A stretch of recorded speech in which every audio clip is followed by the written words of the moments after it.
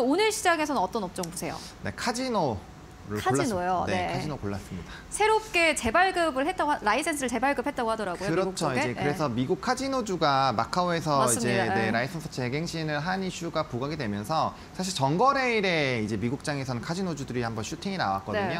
근데 이제 전거래일에 우리나라장에서 이제 화장품 종목군들이 좀 강하게 움직였던 게 이 reopening에 대한 이런 뭐 우리가 기대했던 것만큼은 아니지만 음. 그래도 뭐 백신 맞고 추가하고 이런 쪽에 대한 기대감이 좀 붙어준 상황 이거든요. 그래서 아마 엔터 카지노 화장품 쪽은 단기적인 수급은 굉장히 좀 좋을 음. 확률이 높다라고 말씀을 드리겠고요. 이 이슈들이 발생되기 전부터 카지노 섹터 같은 경우는 외국인의 매수세가 좀 강력하게 들어와 주고 있는 상황이었습니다. 그래서 업황에 대한 이런 흐름들은 굉장히 좀 좋게 진행이 되고 있고 증권가에서도 약 일주일 전부터 이런 카지노 섹터의 긍정적인 좀 전망들을 내놓은 상황이고 그 이유가 이제 섹터에서의 이런 어, 이런 관광객들이 굉장히 빠르게 좀 회복이 되고 있는 상황이거든요. 그래서 그것 자체가 이런 섹터의 실적에 굉장히 좀 크게 영향을 줄 수 있다라는 점.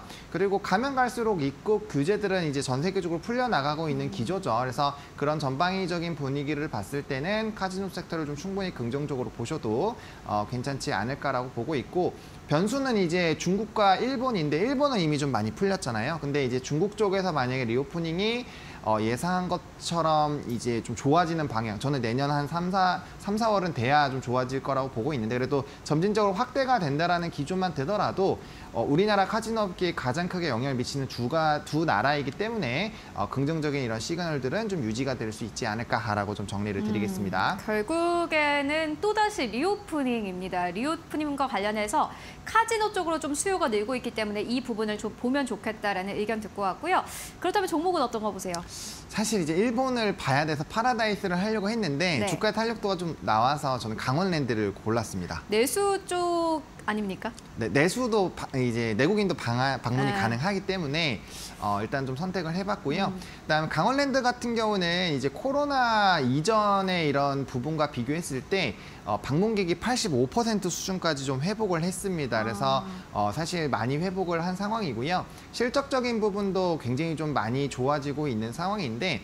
어, 일단은 이 일본 관광객과 내국인이 들어오고 있는 상황이고 중국의 VIP가 지금 잘 들어오지 못하고 있는 상황에서는 사실 이제 국내 내국인 캐파도 무시할 수가 없거든요. 그죠. 그래서 그런 부분에서는 이제 파라다이스와 이제 강원랜드 쪽으로 카지노 쪽은 좀 지켜보시면 좋을 것 같고 실적적으로도 영업이익단과 순이익단이 좀 굉장히 좋아졌습니다. 카지노 섹터 자체에서 좀 확인하셔야 될 부분 딱 두 가지인데 drop액과 hold액이죠. drop액 같은 경우는 고객이 이제 게임 플레이를 하기 위해서 칩으로 바꾸는 전체 금액이라고 보시면 좋을 것 같고요. hold액 같은 경우는 카지노에서 게임을 하다가 카지노가 딴 총 금액을 어, hold액이라고 합니다. 그래서 drop액과 hold액을 나누면 hold율이라는 게 나오는데 그 hold율 자체는 크게 변동이 없습니다. 딜러에 따라서 약간의 소폭의 편차가 있을 뿐 큰 폭의 홀드율은 좀 비슷하다 보니까 그 홀드액 그러니까 이제 카지노가 벌어들이는 금액이 늘어나려면은 결국에는 드라백 자체가 늘어나야 되죠. 그렇기 때문에 관광객이 얼마나 늘어나느냐가 중요한데 이미 많이 회복 이 되어 있는 상황인데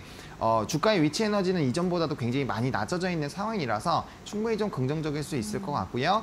또 강원랜드 같은 경우는 테이블 수도 확장이 되고 있고 어, 그러다 보니까 전체 캐파 자체가 늘어날 수가 있는 부분이죠. 그래서 그런 부분들도 어, 향후 실적에는 가시화가 될 확률이 굉장히 좀 높지 않을까라고 보고 있는 상황입니다. 그래서 뭐 차트 보시면은 지금 화면에서 나오다시피 전거래일에 이제 한번 또 의미 있는 양봉이 좀 나와줬거든요. 그래서 만약에 추세적으로 조금 우- 상승이 나오기 시작을 한다면 그 이전 이 횡보 라인 때 상단까지는 충분히 한번 좀 노려보실 수 있는 이제 바닥권에서 시작하는 라인이어서 어, 충분히 좀 긍정적으로 보실 수 있을 것 같고요. 또 최근에 경기 변동성이 굉장히 큰데 카지노 섹터는 대표적인 경기 방어적인 성향을 가지고 있는 섹터입니다. 그러다 보니까 어, 만약에 FMC라든지 이런 뭐 저는 지표들은 좀 좋게 나올 거라고 생각을 하고 있는데 그럼에도 불구하고 연준의 이런 매파적인 분위기에 계속적으로 좀 영향을 받는다고 한다면 방어적인 어, 섹터적인 좀 매력도가 부각이 될 것이고 실적에 대한 턴어라운드에다가 위치적인 에너지가 낮은 카지노 쪽이 좀 긍정적으로 되지 않을까라는 관점에서 오늘 강원랜드를 좀 선정을 해보도록 하겠습니다. 네, 일단 뭐 카지노가 여러 가지 좀 이슈가 있습니다만 일단 실적에 대한 기대감이 가장 큰 강원랜드에 대한 의견 듣고 왔는데요. 하창환 본부장님이랑 살짝 안 어울리는 종목 같다는 생각도 듭니다. 네. 왜냐하면 그 네. 카지노 3사 가운데서 강원랜드 실적이 가장 좋지 않습니까? 네. 그런데 뭔가 슈팅이 아직 강하게 나올 것 같지는 않다라는 느낌은 드는데 어떻게 뭐 가격 전략 어떻게 보세요? 네, 가격 전략은 이제 26,500원으로 목표가 설정을 했고요. 말씀 주신 것처럼 파라다이스가 더 빠를 겁니다. 그래서 음. 탄력적인 걸 원하신다면 그쪽으로 가시면 될 것 같고요. 저는 이제 위치적인 매력도가 조금 더 좋은 강원랜드로 좀 선택을 해봤고요.